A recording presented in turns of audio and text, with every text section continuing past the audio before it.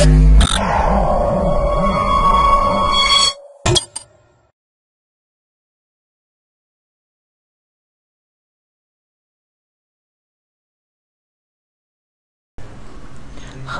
welcome to clickmeproject.com.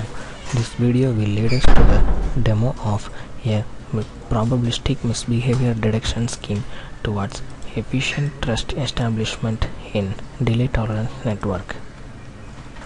Malicious and selfish behaviors represent a serious threat against routing in delay or disruption tolerant network.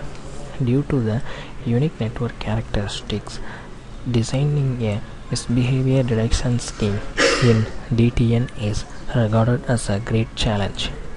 We propose iTrust, a probabilistic misbehavior detection scheme for secure DTN routing towards efficient trust establishment. The basic idea of iTrust is introducing a periodically available trust authority to judge the node's behavior based on the collected, collected routing evidences and probabilistically checking. We model iTrust as the inspection game and use game theoretical analysis to demonstrate that by setting an appropriate investigation probability, TA could ensure the security of DTN routing at a reduced cost. To further improve the efficiency of the proposed scheme, we correlate detection probability with a node's reputation, which allows a dynamic detection probability determined by the trust of the user. The extensive analysis and simulation results show that the proposed scheme substantiates the effectiveness and efficiency of the proposed scheme. First of all, the network creation is the first process. In network creation, we should create a nodes that is the user defined nodes. These nodes are used for the data transmission. Then the individual user ID is provided to all the nodes in the network. Then there are three algorithms are available in the network for produce the key these three algorithm from these three algorithms the user can select any one of that and then use that algorithm for produce the key.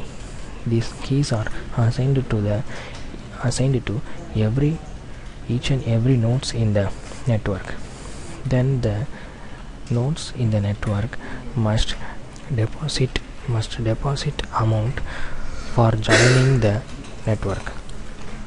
And then in iTrust the evidence generation phase is very important in that there are three evidences.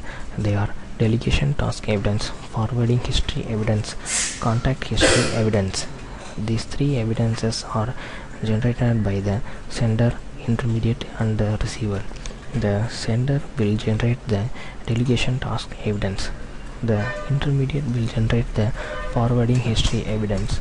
And then the receiver will generate the contact history evidence after these three evidences are created the auditing phase will be executed. The trusted authority plays the vital role in the auditing phase. The trusted authority send the investigation request to the sender intermediate and the receivers. Then the sender send the delegation task evidence to the trusted authority. And then the intermediate send the forwarding history evidence to the trusted authority.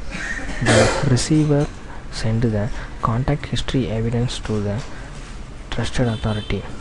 On the basis of these three evidences the trusted authority find that the intermediate is a misbehavior or not. If the intermediate is misbehaved means then the cost that is deposit amount of the intermediate is not refunded if the intermediate is not misbehaved in the network means then there is no problem for the deposit amount of the intermediate let us see the demo of a probabilistic misbehavior detection scheme towards efficient trust establishment in delay tolerant network. Click anywhere in the place.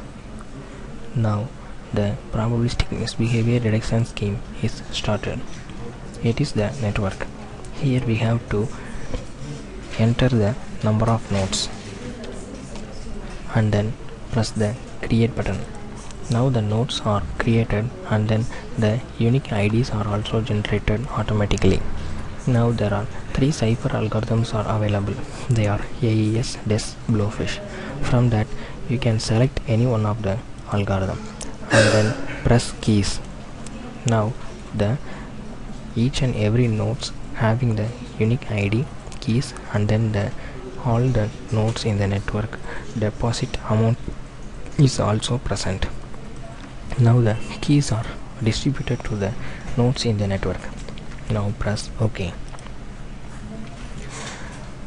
Now the iTrust is started. Here you have to select the sender from the network and then the sender ID key and the deposit amount of the sender is displayed to you. Now select the receiver from the network. Uh, the receiver ID receiver key and the deposit amount also display now press the routing model. It is the starting phase in the routing model. In routing we have to calculate the distance between the sender and the other nodes in the network. From that distance find the nearest nodes in the network. Now press find nearest. Now set the flag value to 1 for the nodes which are nearest to the nodes nearest to the sender. The nodes there are distance from the sender is having the flag value as 0 now press path cost here the nodes which are displayed is having the flag value as 1 in path value the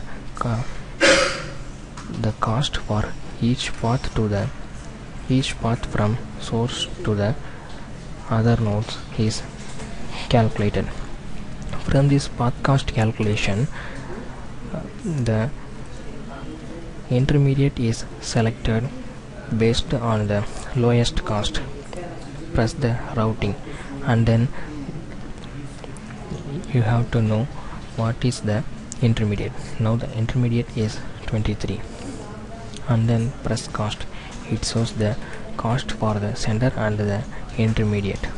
Now press iTrust in iTrust the sender will send the data so that the sender selects the data. Now the data is displayed here. Now press next.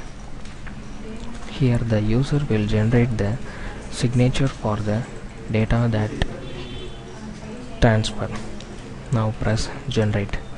Now the signature is generated. And then now press send. Now the signature and the data is sent to the intermediate. Now press accept. The data is accepted in the intermediate. Now the intermediate also create the signature for the data. Now press create. The intermediate here the intermediate generate the signature. Now press delegation. In this the signature of the intermediate is transferred to the sender. Now press delegation in the sender. So that only the signature of the intermediate is received in the sender. And then if the delegation is started means then the timer that is the stopwatch is started. That is the delay time. Now press send if you if the intermediate send the data to the receiver before the timestamp means then the receiver got the data and then he got and then the receiver got the signature of the intermediate. Now press create. The receiver generate the signature for the data that received and then press delegates. It will send the signature of the receiver to the intermediate. Now press delegation. This is the signature of the receiver.